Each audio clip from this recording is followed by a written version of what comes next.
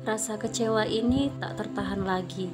Apa yang kurasa, pula apa yang kupikir sebelumnya, kuanggap saja tidak pernah terjadi.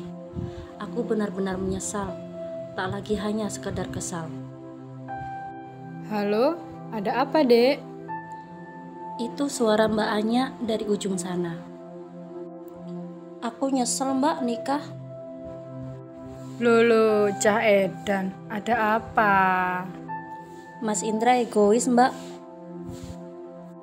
Egois gimana? Perasaan kemarin bilangnya Indra itu pengertian. Apa-apa kamu, apa-apa kamu. Iya kan? Iya, kemarin. Sekarang nggak lagi. Kenapa sih, Yul? Masa dia diajak tinggal sama ayah nggak mau? Sama aja ngajarin durhaka kan? Mbak Anya, egois kan itu namanya? Yul, kamu kan nikah dengan pilihanmu sendiri. Nggak ada yang maksa kamu. Kurang lebihnya ya kamu harus bisa terima.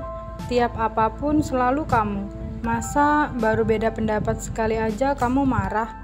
Kok mbak ngerasanya kamu yang egois ya Yul? Soal ayah kan masih ada kami. Nah, ibunya Indra gimana? Jangan begitulah Yul. Aku diam. Kumatikan ponsel secara sepihak.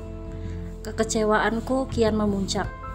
Bukan pada suamiku, apalagi Mbak Anya, tapi pada diriku sendiri. Aku pun bangkit menuju dapur untuk menyeduh dua gelas kopi. Mas Indra selalu berkata kalau kopi buatanku enak. Pas. Saat kopi hampir siap, Mas Indra muncul dengan seplastik gorengan. Kami bersih tatap sejenak.